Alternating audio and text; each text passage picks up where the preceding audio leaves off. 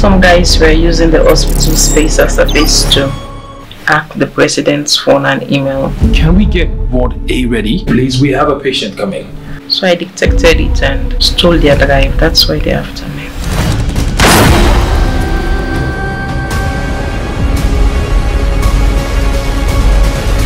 If I don't get my flash drive within this same hour, I'll kill every health practitioner within this building. I want that man to found.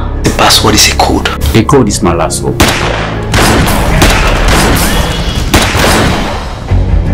Pray your neck comes out of this. Where is Lord Susie? I am Susie. Put the gun down.